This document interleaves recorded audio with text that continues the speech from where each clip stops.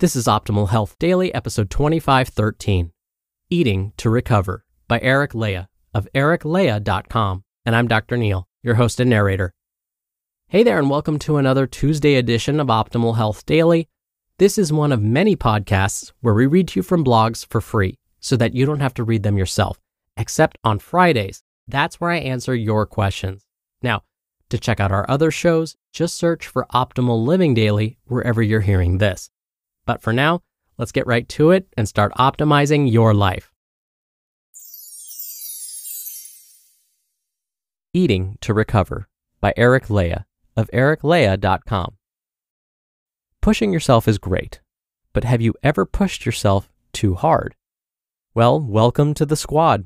I think we can all agree that if we've been in the training game for a bit of time, it's likely that we've pushed ourselves a bit too hard trying to reach a goal. And the end result of that? Extra soreness or a pulled muscle at the least, burnout, and an injury at the worst. Whatever the case may be, recovery is essential. And what is essential to recovery aside from rest? Nutrition. Eating for recovery. Obviously, rest is operation number one when you're recovering from overtraining, burnout, or an injury. However, another key to the recovery equation is the foods you're consuming. Whole, natural foods contain the vitamins, minerals, amino acids, and other compounds that build and repair our bodies. And if we don't get enough of them, well, our bodies don't have what they need to repair and grow effectively. Now, you may be thinking, sweet, I'll up my protein intake. And while that can be effective, and you should be getting plenty of high quality natural protein, it's not the entire story. 1 add quality carbs. This goes double if you're experiencing burnout, like fatigue, chronic injuries, chronic stress, anxiety, sleeplessness, heart palpitations, and have been going low carb for a while. Our bodies were designed to run on a range of whole foods with varying levels of nutrients at varying times, and foods that contain carbohydrates are included. To clarify, this doesn't mean that going low carb is bad. On the contrary, it can be effective for fat loss and some other conditions. However, just because something works as a solution to a problem doesn't mean we have to continue to use the solution after the problem has resolved. For instance, would you continue to take a medication for a health issue once the issue was cleared? Our ancestors would likely have eaten a varied diet, experiencing periods of low carb eating when they were lacking starches and higher carb eating when they had starches or fruit available. Our bodies naturally prefer glucose as a source of fuel, which is why I would always recommend a cyclical approach to low carb if you wanted to try it. In terms of recovery, adding quality, clean carbs like those from sweet potato, butternut squash, parsnips, cassava, berries, and even quinoa can help reduce stress hormones, which play a role in inflammation. Whole food carbs also contain various minerals that help ease your nervous system, further reducing inflammation and assist in repair. Remember, you don't have to go crazy. Simply add a serving or two of the clean carbs like those mentioned before to one or two of your meals. 2. This type of fat. Omega 3s are game changers when it comes to reducing inflammation. Plus, studies have also shown that consuming enough omega 3s can help prevent and ease muscle soreness, which is what we definitely want right now. Consuming omega 3s from fish gives you a one two punch for recovery. You get a high dose of omega 3 fatty acids while also getting a clean dose of amino acids that facilitate muscle repair. Be sure to get in a serving of wild caught fatty fish three times per week. Think wild salmon, sardines, mackerel, and so on. 3 antioxidants. Any type of damage to your body, self imposed through training, inflammation, or otherwise, produces free radicals, which can cause further damage, even to our DNA. Consuming foods high in antioxidants reduces the amount of these free radicals so that you can repair more efficiently and with less collateral damage. Foods like organic berries, like blueberries, blackberries, strawberries, oranges, sweet potato, Leafy greens like spinach and kale, tomatoes, and even egg yolks are rich in a spectrum of antioxidants that specialize in repair. try to get in several servings of them per day. 4. Magnesium. Magnesium is a critical mineral that plays a role in an extraordinary number of processes in your body. For the sake of recovery, we'll stick to the fact that magnesium heavily participates in the process of energy metabolism and assists the maintenance of normal muscle contraction and relaxation. If we don't get enough of it, studies show that it can impair performance and result in muscle cramps. Magnesium can be found in leafy greens, potatoes, nuts and seeds, and even in high amounts in dark chocolate.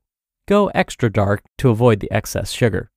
You can also soak in Epsom salts several times per week to help absorb magnesium through the skin. 5. Grass fed meats. Of course, we couldn't leave protein out of this list. High quality proteins from grass fed meats contain all of the essential amino acids your body needs to repair your musculoskeletal system. Meat that has been grass fed is also higher in omega 3s when compared to their grain fed counterparts, so you'll also be getting a higher dose of omegas.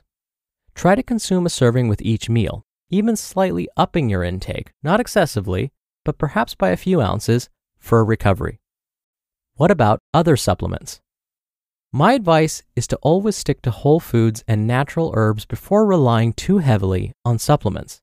But sometimes we could use a little extra help in meeting our foundational nutrient requirements, and some individuals who are training much more intensely than others, say at an athlete's level, could also use a boost. For recovery, it would help to focus on additional branch chain amino acids, which are also found in animal proteins, and glutamine, which can help assist in muscle repair. Making sure your mineral base is covered is a good idea as well, increase your fruit and veggie intake to do this naturally, or consider a multivitamin mineral supplement. You can also look into anti inflammatory herbs and foods like ginger and turmeric, which can help reduce excess inflammation. The bottom line 1. Food provides the building blocks our bodies need to repair from injuries, soreness, and overtraining. 2. Increase your intake of clean carbs slightly during recovery to ease stress and refuel glycogen stores. 3. Make sure to get plenty of anti inflammatory omega 3 fatty acids from fish. 4.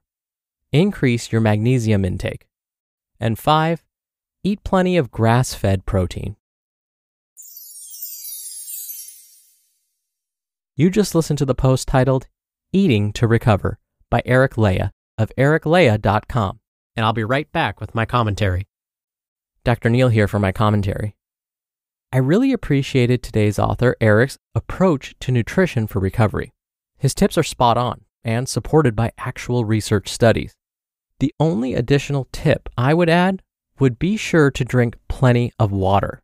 This becomes particularly important after one of those really challenging workouts. You know, the one where you're so tired you can barely walk back to your car or make it up the stairs. We need to be sure to drink plenty of water after these types of workouts, especially to protect the health of our kidneys. Now, you might be wondering, how much water do I need to drink exactly then? Well, the best way to know is to weigh yourself before you exercise, then immediately after. What you'll find is that you probably lost a little bit of weight during your workout. Now, don't get too excited this is not fat weight that's lost, it's water weight.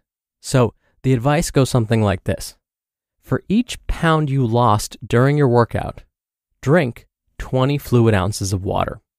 So let's say you weighed yourself before your workout and you weighed 150 pounds.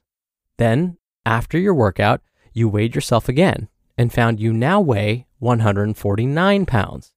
You lost one pound of water weight during your workout.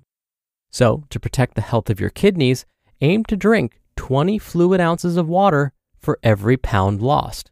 Since one pound was lost, aim to consume 20 fluid ounces of water, which is about two and a half cups after your workout. All right, that'll do it for another edition of Optimal Health Daily. Thank you so much for listening. Thank you for sharing this show with someone. And I'll see you back here tomorrow where your optimal life awaits.